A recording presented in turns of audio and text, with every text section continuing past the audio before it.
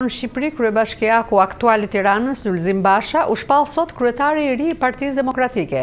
Ai mori tetëdhjetë për qind të votave të anëtarësisë, e cila për herë të parë votoi direkt për zgjedhjen e drejtuesit të saj, që do të pasojë zotin Sali Berisha. Por zgjedhjet në Partinë Demokratike u përfshinë nga polemika.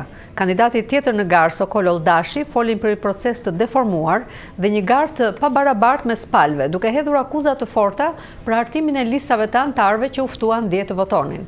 Nga Tirana njofton korrespondenti ynë Armand Mero. Berisha, i cili njoftoi sot zyrtarisht, fillimisht përmes Facebook-ut dhe më pas nga selia e partisë, edhe fituesin e garës për pasuesin e tij. Zotin Lulzim Basha, i cili u zgjodh, u zgjodh në një votë plebishitare. Zoti Basha u shpall fitues me tetëdhjetë për qind të votave ndaj rivalit të tij Sokol Olldashi. Ai mori mbi tridhjetë e dy mijë vota përkundrejt afërsisht shtatë mijë e nëntëqind të tilla për zotin Olldashi. Afërsisht ishin dyzet e një mijë anëtarë që morën pjesë në votim, një përqindje e ulët nëse mendohet se sipas deklarimeve të vetë demokratëve anëtarësia e tyre shkon në afër njëqind mijë vetë. Pas zotit Berisha nga i njëjti podium foli kryetari i porsazgjedhur Lulzim Basha.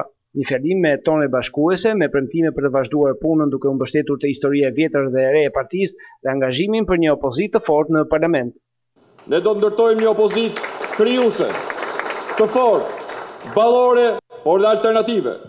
Do të kemi një përballje publike të përhershme për çdo sektor, Për çdo situatë, për çdo problem, shqiptarët do shohin alternativën, projektet, zgjidhjet tona për problemet e tyre.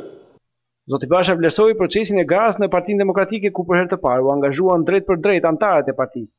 Në këtë garë, të parën të vërtetë të parimit një anëtar një votë në Shqipëri, ne, demokratët, Iu dëshmuam sërish bashkëqytetarëve tanë se jemi përfaqësuarit, përfaqësuesit më të denjë të vlerave, parimeve dhe praktikave të lirisë, demokracisë dhe dinjitetit njerëzor. Falënderoj Sokol Olldashin, kandidatin tjetër për kontributin e tij. Por nuk është i të njëjtit mendim rivali i tij në garë zoti Olldashi i cili deklaratën e tij preferoi të mos e bënte nga selia e partisë, por nga ajo e Ministrisë së Transporteve që ai drejton. Përzgjedhja e kryetarit të ri të Partisë Demokratike u bë përmes një procesi të deformuar. Zoti Olldashi vuri theksin te problemet e listave të anëtarësisë që ai tha se nuk pati mundësinë që t'i kishte në dispozicion. Dita e votimit provoi se mijëra demokratë nuk gjetën emrat në listë, ndërsa mijëra të tjerë u anëtarësuan në listën e votuesve në dy javët e fundit. Shpresoj që pas votimit për kryetarin e Partisë Demokratike të anëtarësohen edhe në parti. Ai akuzoi se ndryshe nga ç'ishte premtuar për një proces jashtë ndikimeve, ai nuk mbeti asnjë ditë i tillë, tha zoti Olldashi. Procesi për cilin m'u dhanë të gjitha garancitë se do të ishte jashtë ndikimeve në fakt nuk mbeti asnjë ditë i tillë.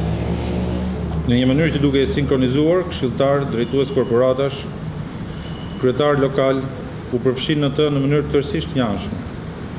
Ndërkohë që cilido që shfaqi parapëlqime të padëshiruara në favor tim u pezullua, Gjë që ndodhi me ndonjë kryetar lokal të PD-së, u përjashtua siç ndodhi me anëtarë të PD-së në Korçë dhe në Shkodër, apo u pushua nga puna siç ndodhi me drejtues rajonalë të korporatave në Sarandë apo në Vlorë. Një tjetër problem, siç theksoi zoti Olldashi ishte dhe numri i serisë i stampuar në çdo fletë votimi gjë të cilën ai e konsideroi si pjesë e intimidimit. Megjithatë, ai tha se do të vazhdonte angazhimin e tij që Partia Demokratike të përmbushte misionin e saj.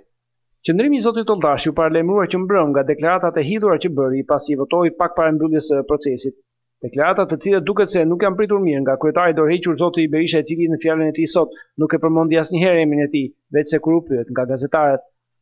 Zoti Berisha parashtroi linjat bazë ku duhet të ecë në të ardhmen Partia Demokratike, analizë e thellë e rezultatit të zgjedhjeve dhe hapje ndaj të rinjve, gjeneratës së lirisë, siç tha ai, duke shpjeguar se i referohej atyre që kishin lindur në vitet tetëdhjetë e më pas. Duke patur respektin më të thellë për ata me të cilët kam punuar dhe punoj. Është jetike për ne si parti Të hapemi fuqishëm drejt kësaj gjenerate mbasi kjo është gjenerata që mbështet pothuajse tërësisht Partinë Demokratike. Partia Demokratike duhet ngrihet në lartësinë e aspiratave dhe pritshmërisë së kësaj gjenerate dhe unë do bëj gjithçka për të që këta të marrin vendin e tyre. Një figurë me pushtet thuajse absolut në Partinë Demokratike, zoti Berisha duket se me këtë deklaratë i shtron rrugën e ndërhyrjeve të thella të zotit Basha për tranzicionin nga ai që mund të quhet brezi i parë i demokratëve te emra të rinj në strukturat e ardhshme të partisë. Sfidat për zotin Basha nuk janë të vogla, veçanërisht brenda partisë, por duket se ai do të ketë në krah zotin Berisha i cili premtoi të mbetet tejet aktiv në jetën politike. Do zhvillojë një betejë të gjithanshme të fuqishme këtij pushteti që doli nga mashtrimi me ushtrinë e madhe të demokratëve të jashtëzakonshme. Do ecë përpara. Do shfrytëzojë në grup çdo hapësirë për të qenë aty zëri i pamposhtur i demokratëve të Shqipërisë. Për Zërin e Amerikës, Armand Mero, Tiranë.